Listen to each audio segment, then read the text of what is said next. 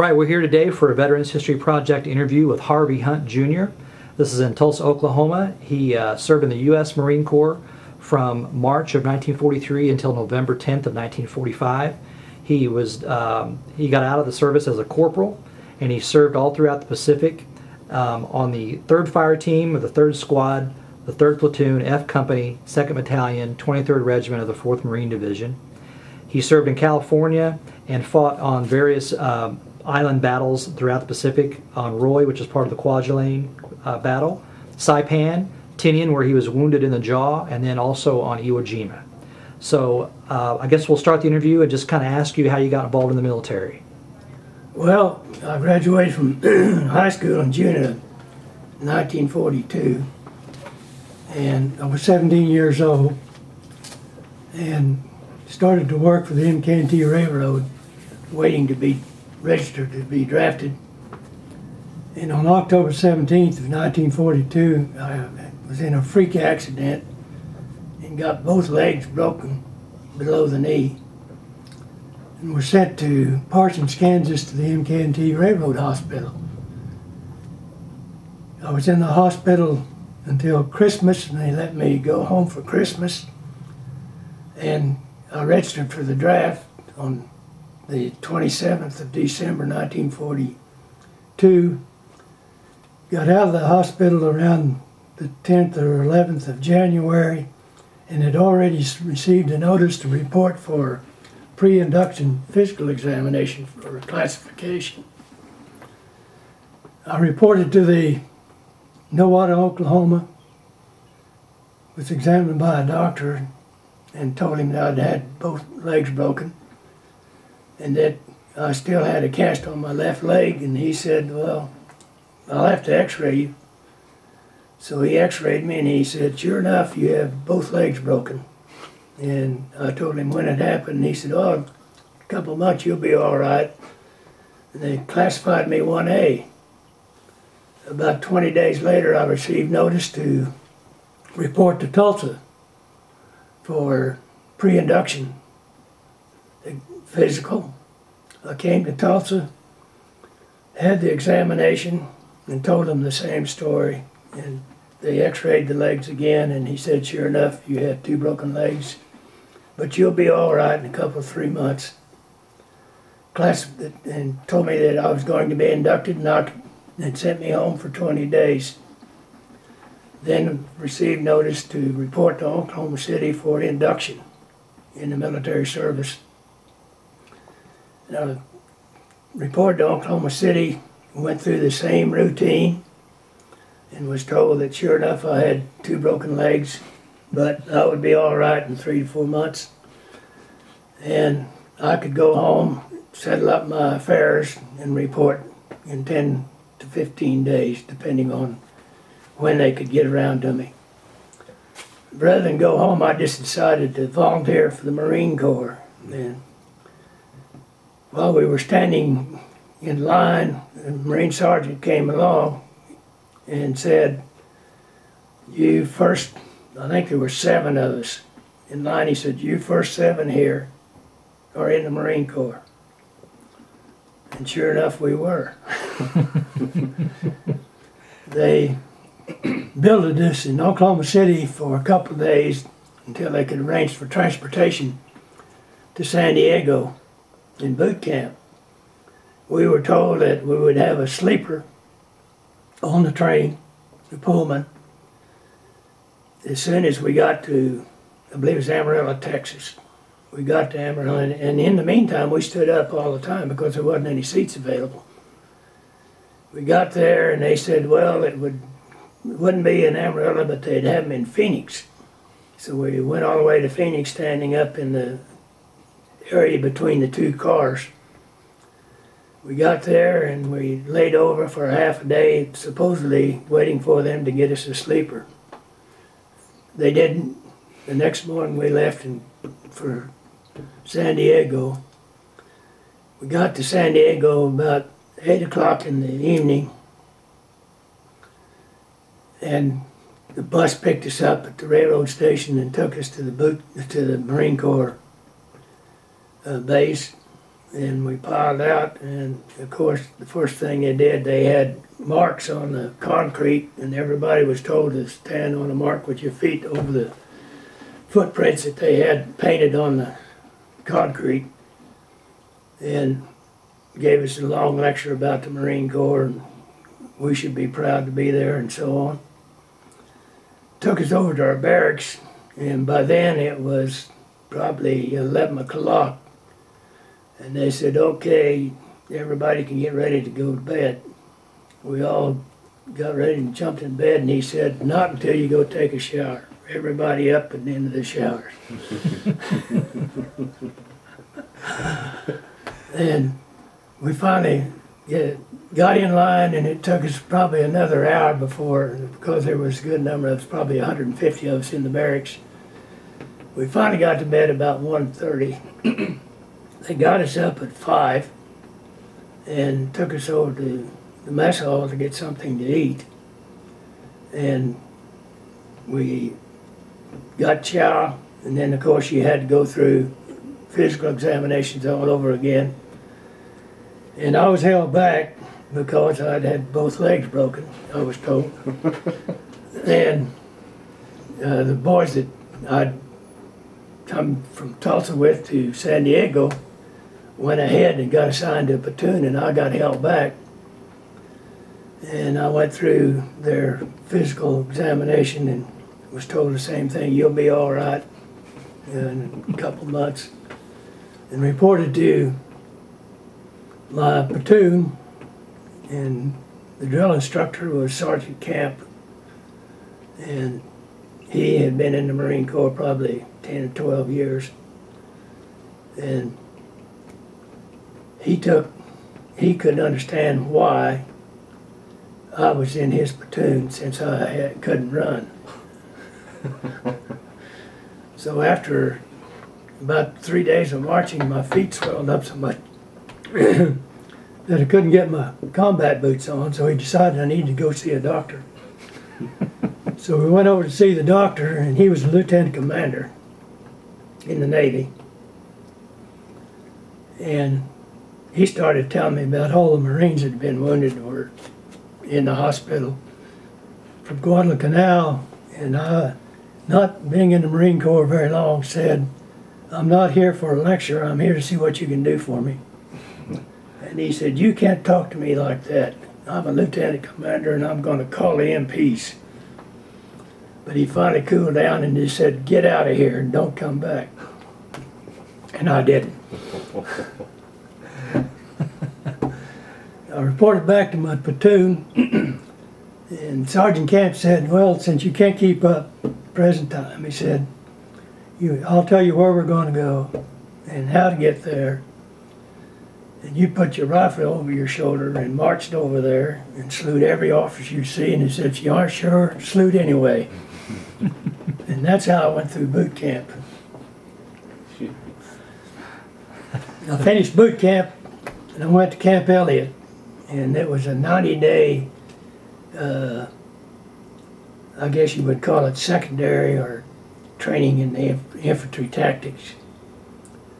And by then I was able to get around pretty good because I made more than 125 mile hikes without falling out.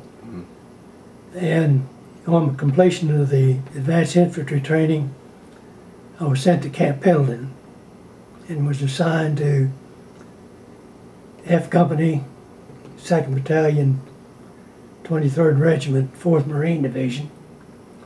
I was in the 3rd Fire Team, which consisted of a corporal, a BAR, BAR man, assistant BAR man, and a rifleman. My first assignment was as an assistant BAR man.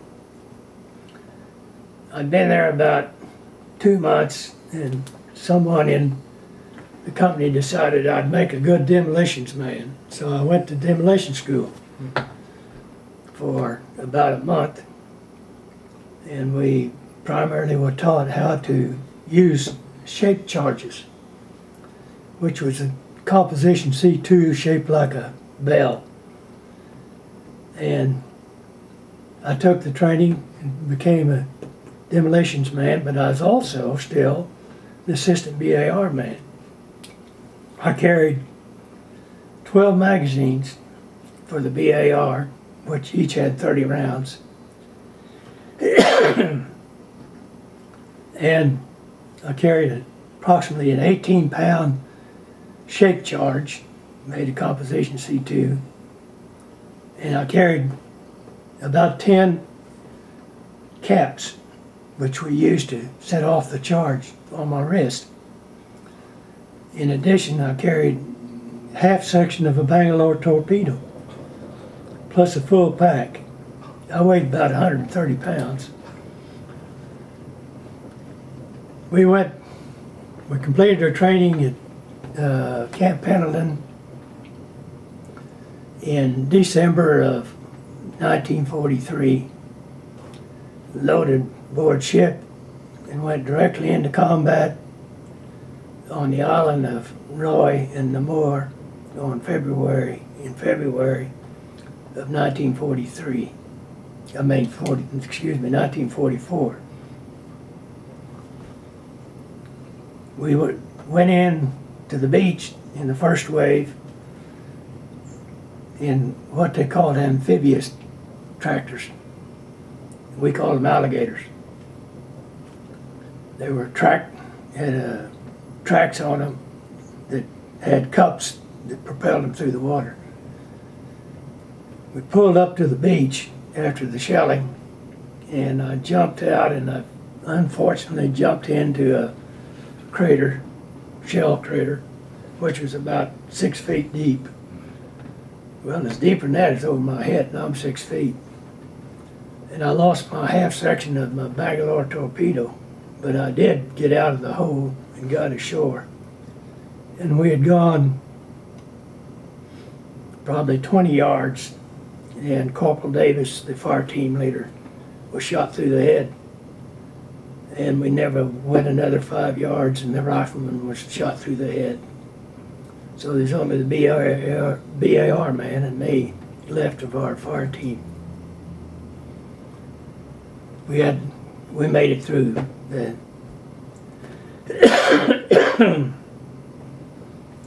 it took us about three days to secure the island. The first day we went all the way across, but the Japs had crawled into the drainage systems under the runway. The island consisted probably 90% of it was nothing but runway. And so when we dug in for the night, we had to go down by the shoreline and dig in. And Evanoff, who was the BAR man,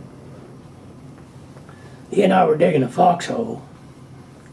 And somebody up above us was shoveling sand right down on us, and he hollered out, Who's the idiot up there shoveling sand on us? He said, uh, I'm Colonel so and so. He said, Who's that down there? We didn't answer. we got off the island and went back to and went to our camp on the island of Maui in Hawaii. And of course, went through extensive training for our attack on Saipan. We loaded out uh, in about mid-April on LSTs, which had LCTs on top. And our accommodations aboard the LST was on cots underneath the LCT. The only accommodations they had on the LST for the Marines was the officers, and they did have quarters for them. We arrived off the coast of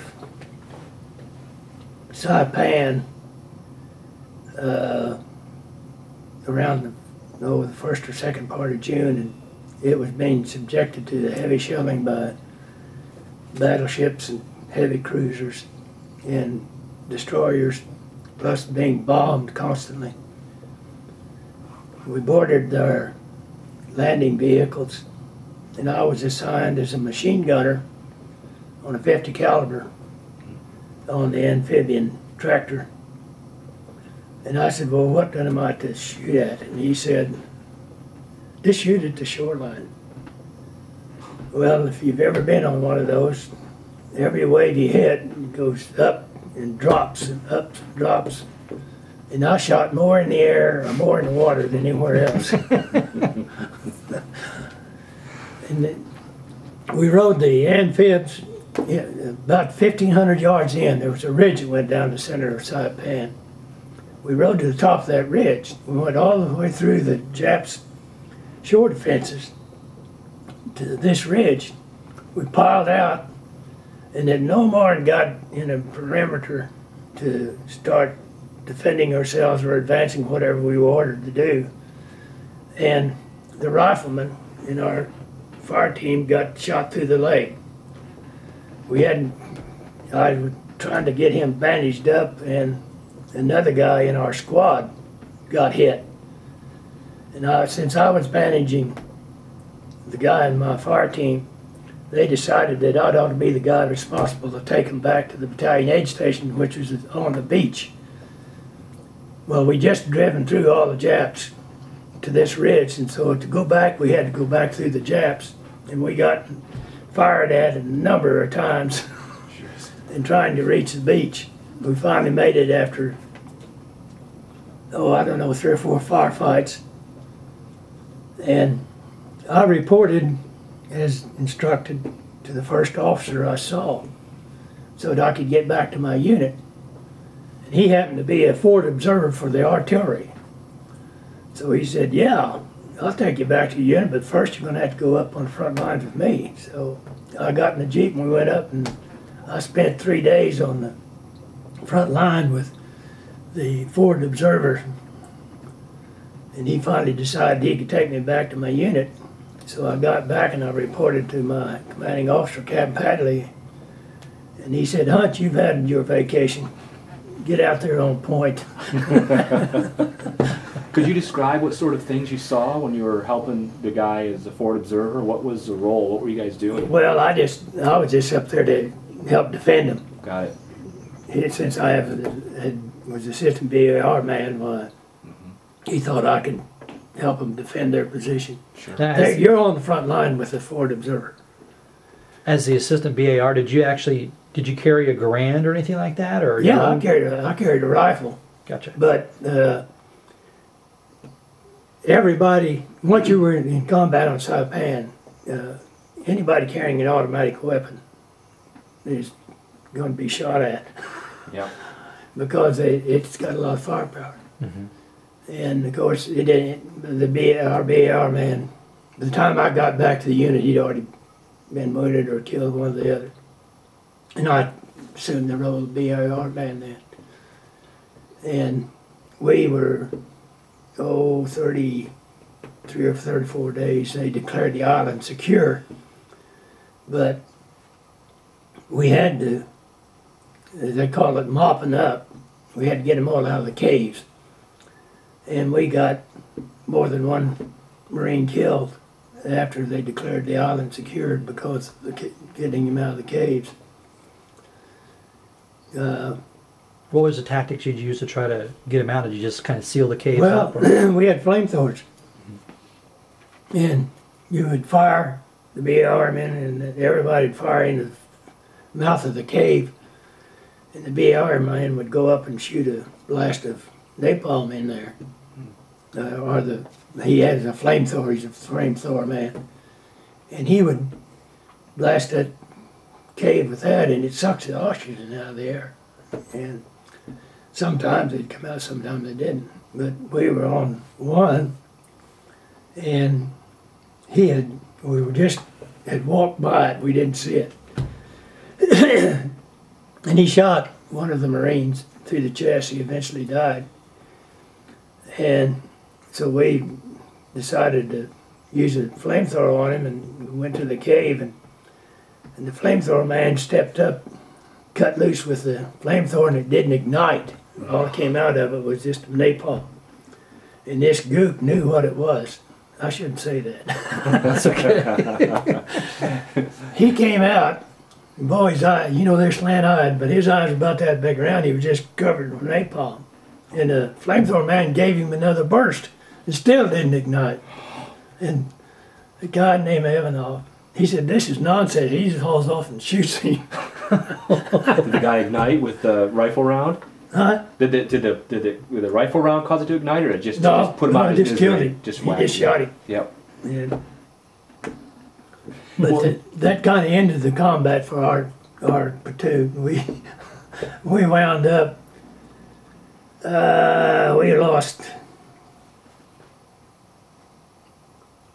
about half of them, I guess, wounded and killed in our platoon on Saipan.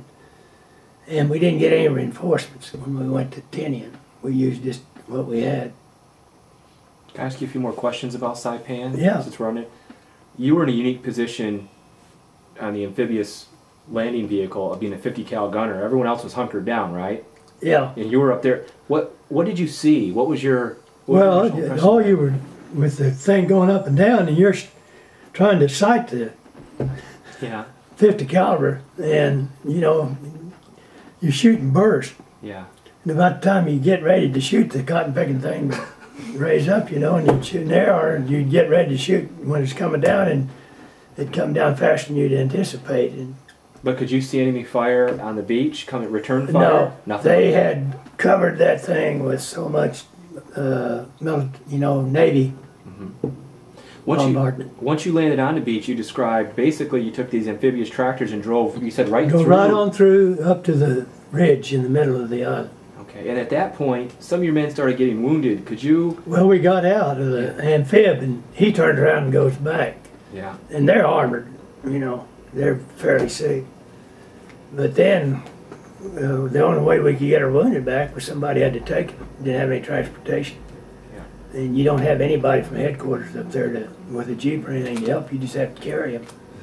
But the two guys I had were both ambulatory. And uh, one of them you had to help, you know, because he'd been hit in the leg and you, you had to hold on to him. But we still had our weapons, so when we got fired at, we dropped down and tried to protect ourselves. So did the Japanese not have any sort of like a like RPG or anything to take out these these Amtracs with? Uh, the only time I ever saw them, they had tanks, and they came at us on Saipan. We were right, they attacked us immediately when we landed on the ridge. But our, uh, the ship's fire was directed by somebody, some forward observer someplace, could have been Arrow. And they really took care of those tanks. Then our tanks got there, we had no problem. They were, Japs were no match for our tanks at all. You know, one thing I wanted to comment on before we continue, one of the things that, that I've heard about the Marines and when you described in your training that you were immediately signed to the third fire team, the third squad, third platoon before you even left the United States. Yeah. And you know, to me, that I, I mean, I think the army didn't used to do it that way. I mean, they, did you kind of get formed in the, in the army? You're kind of formed into your group and your platoon when you're over there, and it sounds like that you could build a good esprit de corps. You know, when you when you train Well, you got to realize that the Marine Corps is much smaller than Army. Mhm. They're inducting, you know, millions, and Marine Corps inducting thousands. Mhm.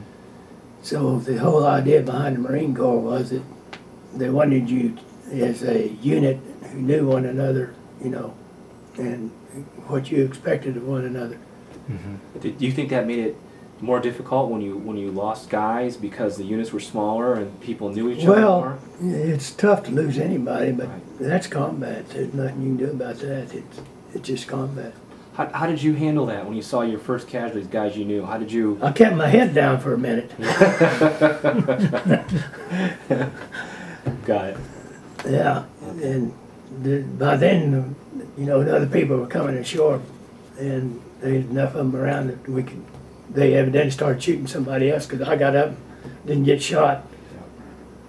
Could you describe, and in, in this last question I have while we're on Saipan, what was the what was the noise and atmosphere like when you got out of the Amtrac's? Was it pretty quiet or just a maelstrom of noise? Well, what do you remember? Uh, an Amtrak has an airplane motor in it, and you can't hear yourself think when you're on that. And they don't wait around. Once you're out of there, they're gone. They don't wait around because they they, they don't have any firepower that they can defend themselves with other than the 50 caliber machine guns, 30. But uh, you the the Navy gunfire, and that's anywhere from the 14 inches down to the 5 inches, are just pouring the lead in there, you know. It- It's just continuous fire. We pulled around one of the battleships, I don't remember which one it was now, it's been so long ago. But in our, when we started towards the beach, we were behind the, the battleship. And we had to go around him and we went around and they pulled back into line and just got back in line and he fired a 14 inch like it blew us out of the water. Really?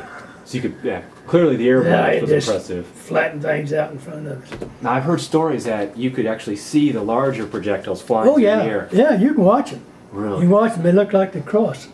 No kidding. Yeah.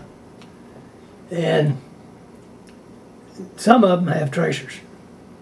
And I, and I guess that is to be sure that they know exactly, you know, their rounds because so many of them being fired, they, ne- they need to know where they're hitting, whether they're on target or not. So they use some method to trace their rounds. I know. I, I know that in, like, for instance, when uh, when the Allies invaded Normandy, some of the ships would use these um, dye marker shells. You know, they would, you know, they could see like they'd have yellow, for instance, or so on and so forth. They could kind of see which ship was hitting what. Well, they they they have designated targets. Mhm. Everybody has a designated target, and uh, they fire their anti-aircraft guns. They fire everything they got on the beach. Then they had these LSTs that had nothing but rockets on them. I don't know how many, just rockets, rack after rack after rack, and the air is just filled with those things. Some of those rockets would, you know, start tumbling.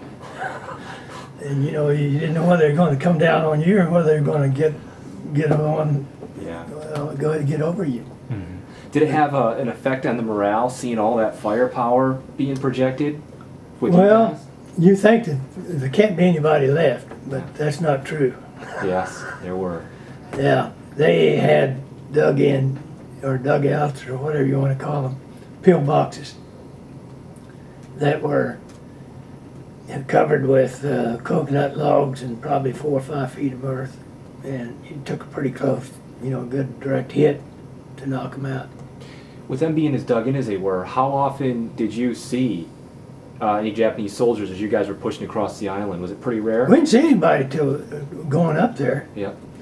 because, of course, they were all hunkered down because of the fire that was coming in. I in. mean, once you were on the island, you guys started forming a skirmish line.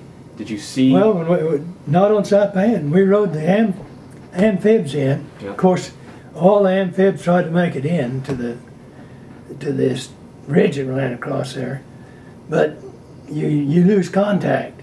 So the first thing we did was set up a perimeter defense and get organized and try to make contact with the other squads or other platoons, anybody you could get in contact with, so you don't know, you know, so you don't start having friendly firefights. Mm-hmm. Okay. Thank you very much. So, so at the end of the Saipan battle, what happened after that? Well, we loaded up uh, on the LSTs again, and they took us out uh, offshore, and of course they did that so that we could get cleaned up and get some good meals. We've been on K rations for over a month, and you're only supposed to have them for three days or something like that. But we found out that the cotton picking tankers all had 10 and 1 rations. 10 and 1 rations had bacon, uh, stew, and all kinds of good food. Were they were they taking them from the? No, they were issued it Oh. because they have a crew. Got it. They got oh, five driver, they got five Dri- driver, assistant driver, uh, the commander, and the loader. And the guy, one other guy that passes the ammunition. But they they couldn't see us because they would be looking front, and we'd jump up there and ice their ten and one rations. And that's the only time we ever got any good thing to eat while we were in combat was just simply getting it off of the tankers. And they finally got to where they'd load up some extra ones and toss them off as they came up. What'd the K ration consist of?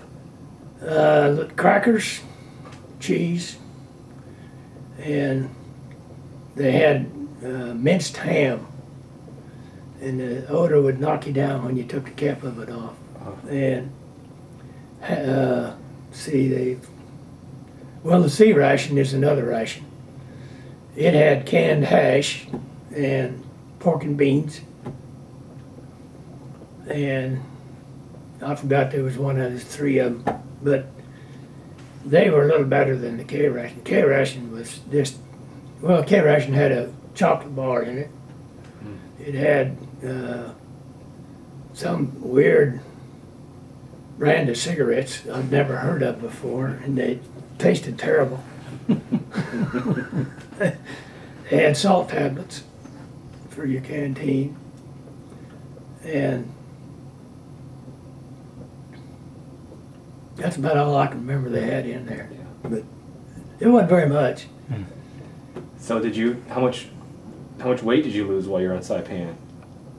Oh, probably 15 pounds. I didn't have much weight. I only weighed 130 pounds. So you had much to lose. So basically, after the battle, they put you on the LSTs, and you're basically trying to get you guys back in shape. Well, you need, we need to get cleaned up. Yeah. You know, we hadn't been able to take a shower or anything. You couldn't swim on board in in the line all the time. So they you got to go there and got your hair cut, something to eat, cleaned up. Then got your weapons cleaned up, reissued your ammunition. When you were on Saipan and, and night fell, um, you guys, you know, you dug your foxholes and everything. Was there, were there banzai charges at that point? You know what? How, how much of a concern Well- was was there of the enemy infiltrating your position? Uh, on Saipan, we didn't get uh, counterattacked until probably the fourth or fifth day. And the there was a New York National Guard unit or division that was between the Second Marines and the Fourth Marines, and they had this center portion of the island. Second was taken up one shore, and we were taking up the other. And we got attacked by the Japs. I don't know how many. Well, they killed roughly four thousand. So I don't know how many of them left after the, but they were just stacked out there. But they broke through the army division and got into the artillery and the Marine artillery boy. All Marines, regardless of what your assignment is, you are prepared for combat. I don't care if you are a clerk and a typist. You, you can fill a combat role if you have to.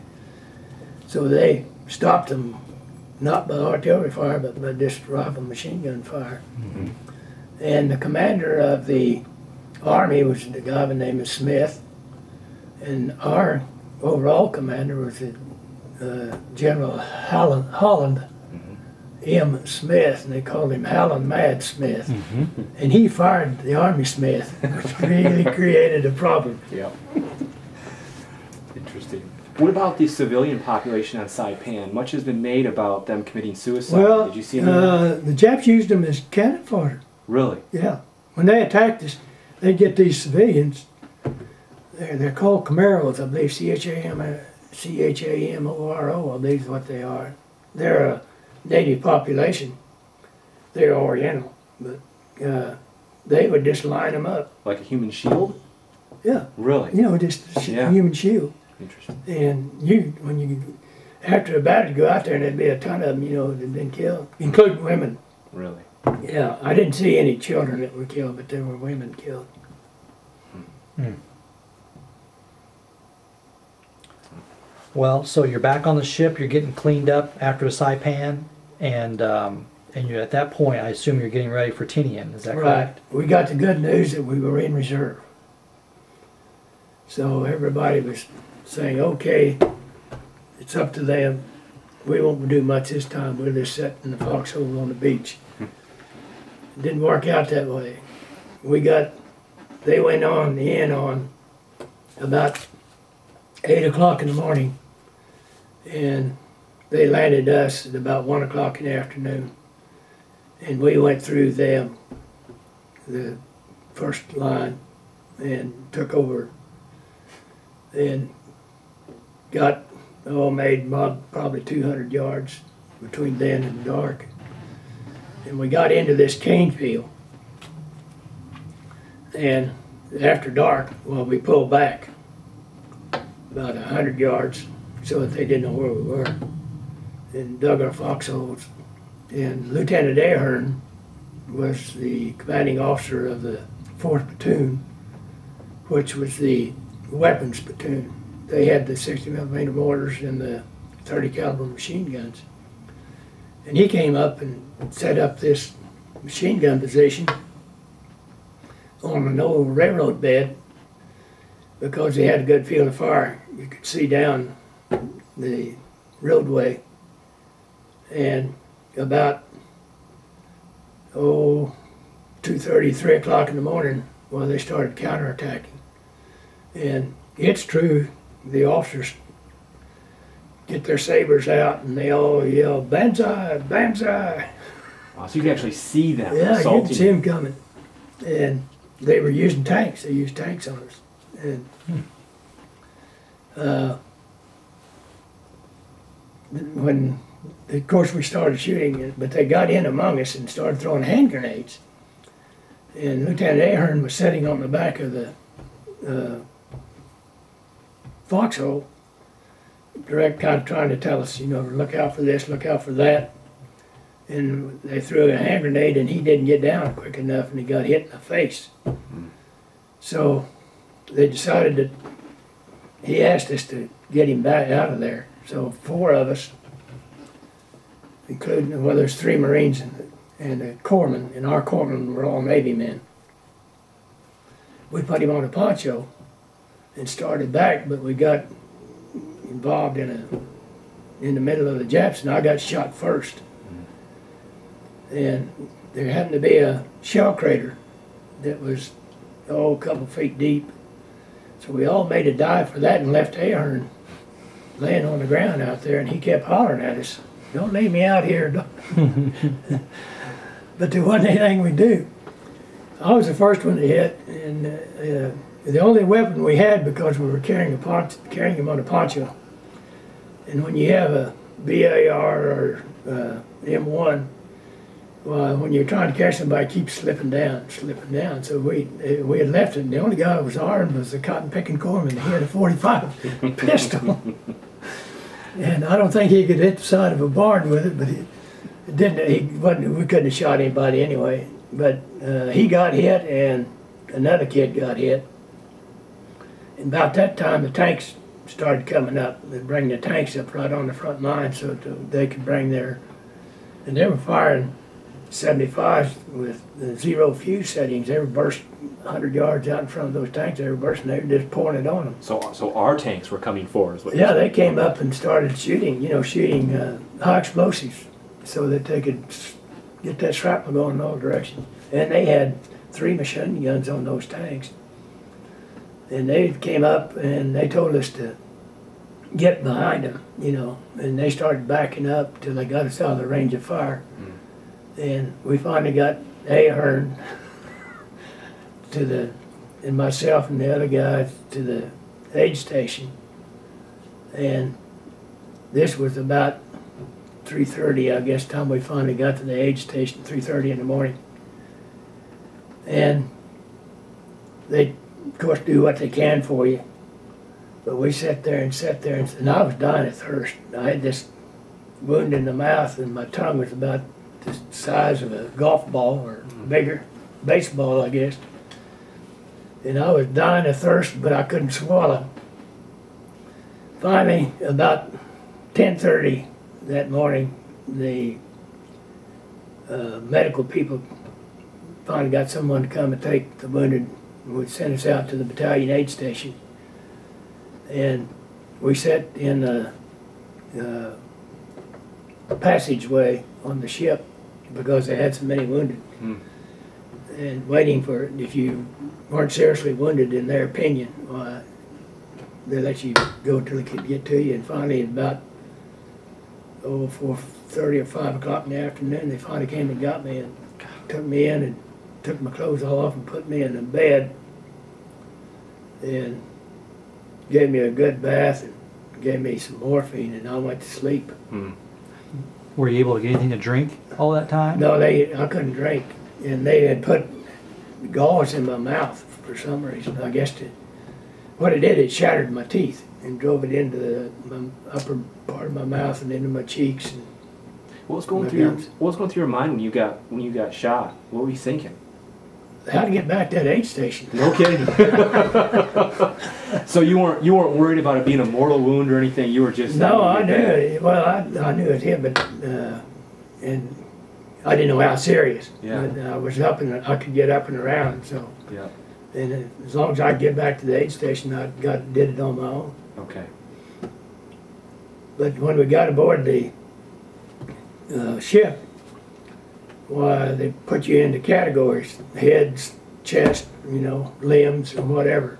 They separate you out, and the doctors are all experts in whatever ward you're put in. They take care of you, and evidently they decided that with my wound, they couldn't handle me aboard that ship. So that that night, why they put me on a metal stretcher and the USS Relief pulled up alongside the ship, and they threw a line across, and they put you on that line, and you're tied down in this metal Like a basket, basket. basically. So if if they turn, if it, they drop you, why you know you're not going to swim anywhere Mhm. because you're got your arms and legs all strapped in. But they took put me aboard the hospital ship, and I was assigned to the headboard.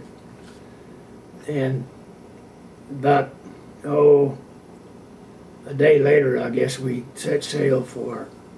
Uh, they went to some island before we went to uh, Honolulu.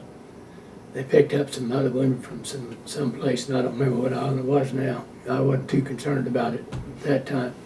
So they keep you on morphine most of that time? Yeah, yeah. The my teeth were cut off just below the gum line, just sheared off, and all the nerve was exposed. So it didn't, you know, you had to have a little something. Yeah. Yeah. And How are they able to feed you and give you water at that point? They put a. they put you on plasma. So you're fed intravenously then. Yeah, you're fed intravenously. Glucose too, they put you on that. And then those days they had sulfa, Mhm. and they treated you with sulfa. But as soon as I got aboard the hospital ship, well, they put a, a gauze through the hole in my side of my head, and he told me that that it would they pull it because it would heal from the inside first. And he said in order to reduce the, the scarring as much as possible, well, they just pull that little each day, and that way I didn't wind up with a big scar tissue inside my mouth. It came mm-hmm. out pretty smooth. Really? Yeah. What Yeah. what they have to do for the teeth? Did they reconstruct? Well, they operated on me. That's what I thought. Yeah, took out all the roots and, and filed the gut jawbone down to where it was smooth. But it had driven bone splinters into my gums. And he told me, he said, you know, you, they're going to work their way out. We've got all of them away from the bone, so you're not going to get a bone rot. But they'll work their way up through the gum. Sure enough, I had two or three of them, and Pop out. came finally came through and you get this knot on the gum and then all of a sudden well there'd be they'd take it out but while i was aboard the hospital hospital ship uh, they had a nurse in charge of our ward and one day she said does anybody know how to play cribbage and no one held their hand up she said well does anybody want to learn how to play cribbage so i held my hand up So I played cribbage with that nurse from the, for about a month.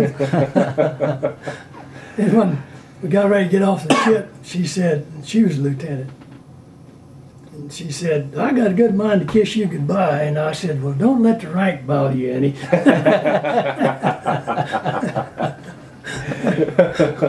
so she gave me a kiss goodbye. Good.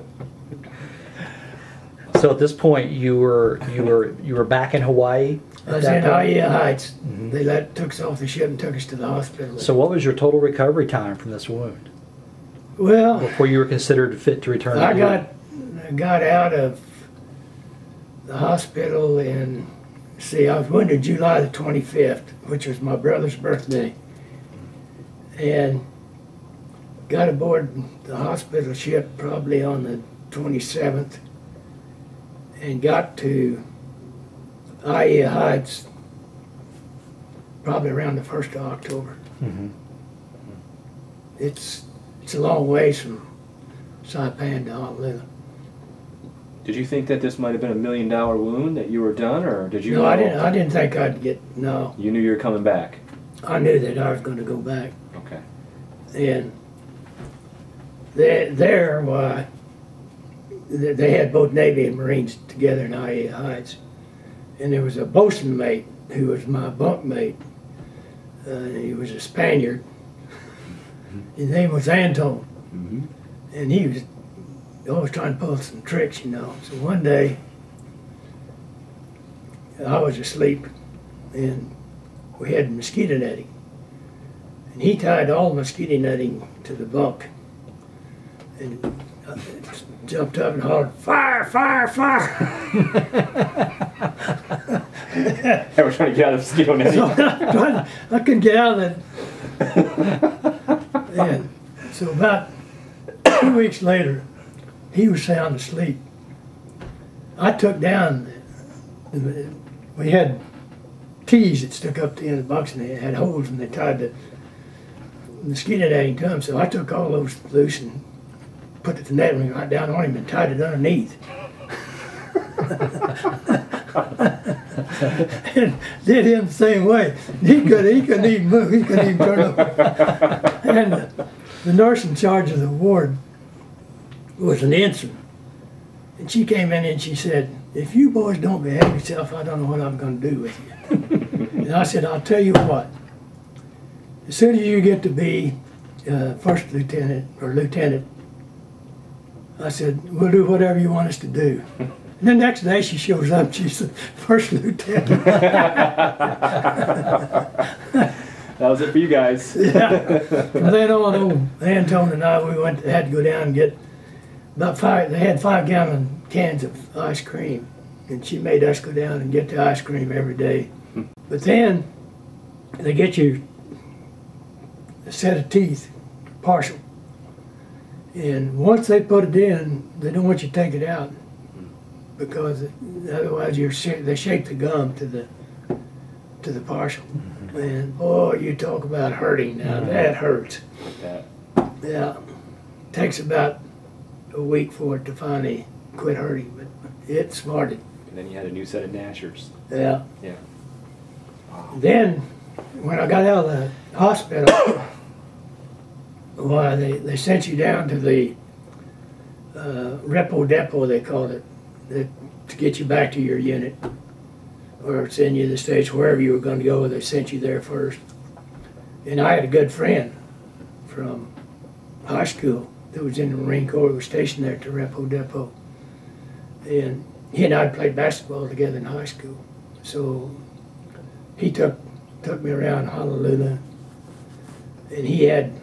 Uh, when I got on the hospital ship, they took away all the Marine Corps gear I had. Took away my dungarees, and my shoes, and everything. And I went around in Navy clothes, which is terrible, you know. Swab jockey. And I finally got, when I got to uh, that repo depot, why they told me, they said, we can fix you up with a set of clothes and- or uniform until you get back to your unit.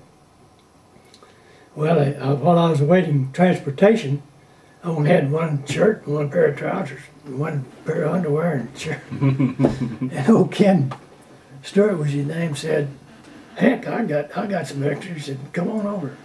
I'll get yours laundered and you can wear mine. That's what we did till I got back to my unit. I got back to my unit and I went in and reported to Captain Padley, the commanding officer.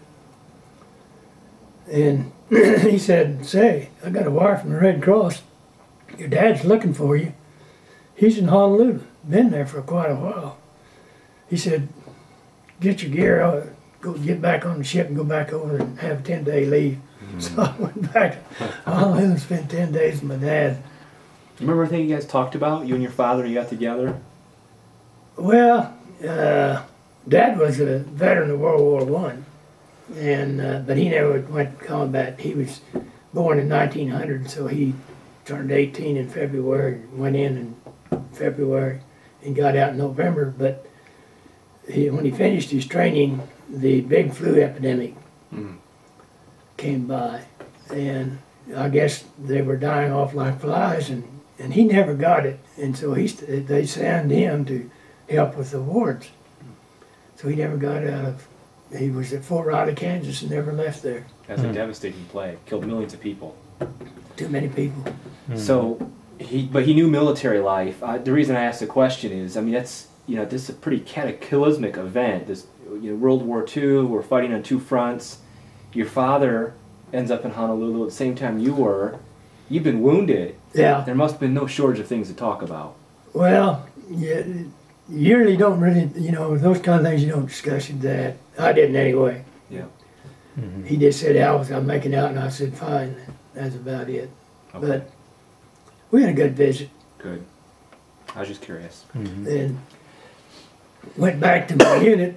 And when I reported badly the second time, uh, he said, "Well, you're going back to your same place you were before, but uh, you're going to be a fire team leader."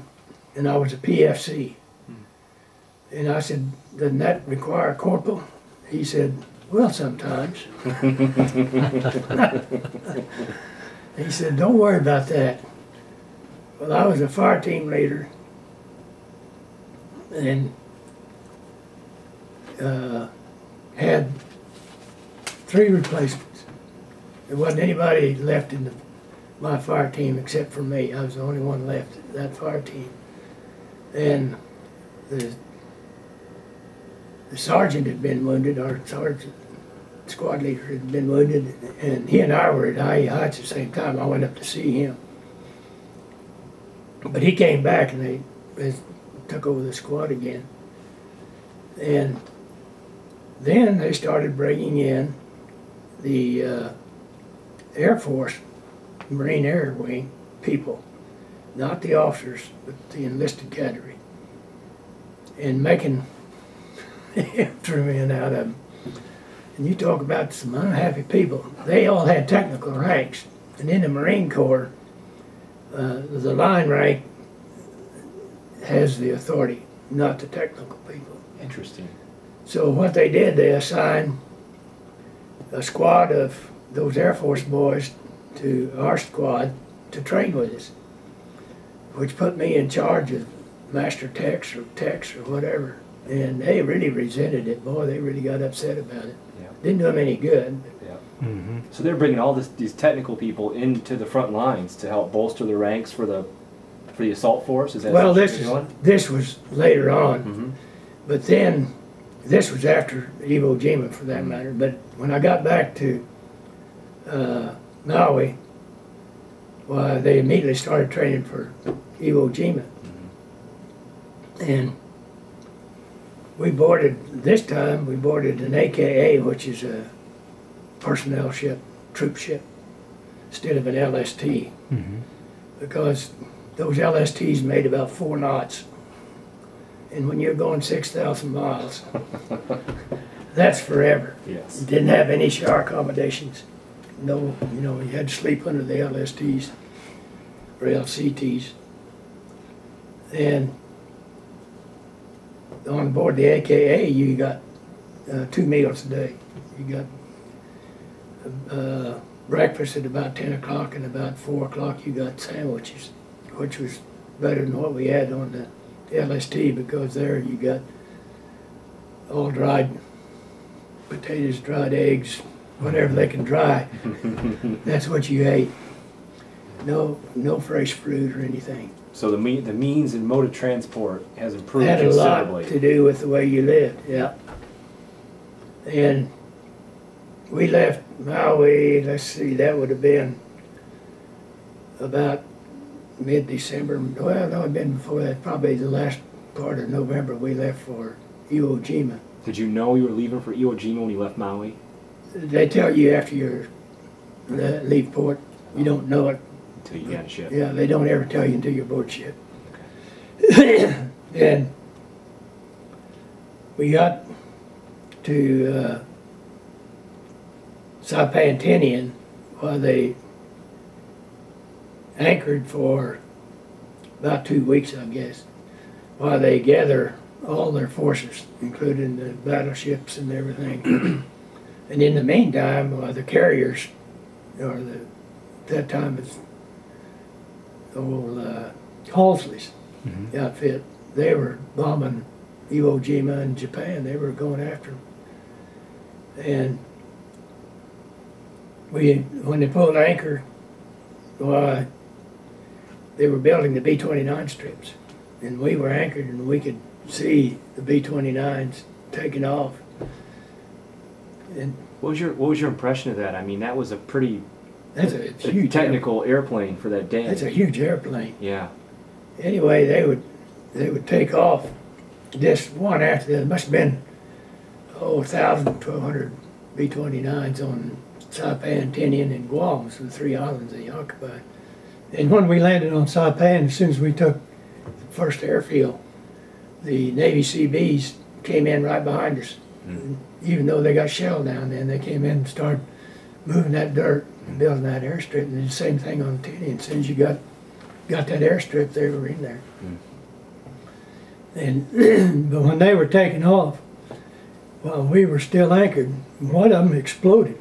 They were taking off in twos, and one of them exploded Oh, right on the runway. wow. Just whoom, you know. Wow.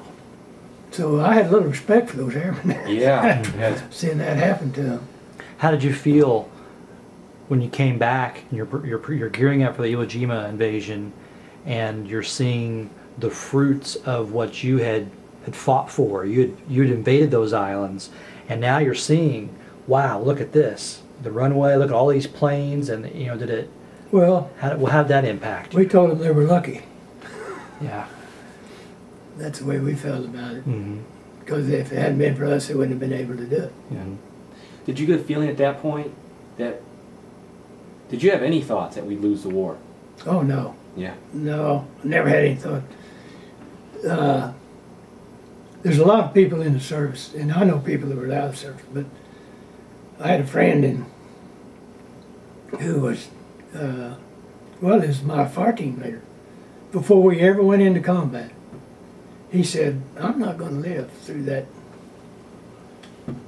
first time." He said, "I'm not going to live," and he wanted me to be sure that his parents got all of his personal possessions. And I said, "Oh, that's nonsense." And he said, "No, no." He said, "It's going to happen." And as I said, you know, he no more than got ashore and was killed instantly. Hmm. And we had another guy. His name was Abel, and we on Saipan. We were all sitting around, uh, kind of regrouping and discussing what was going to do next. And he was sitting on his helmet, leaning against a tree, and he said, "You know, I'm not going to get off of this island." Hmm. And by gosh, he got killed. And I've discussed that with a number of people. Uh, I had a friend in a little town I graduated from high school, Wann, Oklahoma. Uh, Ewell Underdown was his name. And before he ever went overseas, he was in the army.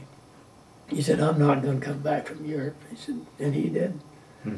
So something about that that I've talked to the minister about that, and, and he has no answer. But my wife, I think, has probably the best answer. She says that's the Holy Spirit hmm telling them, you know, be prepared. hmm You hear that a lot. Yeah. I've, I've heard that. Have you heard that? I've heard it hundreds of times. Well, that happens, and, and and and you wonder. You know, I never had that idea. Yeah. It never. That thought never came to me.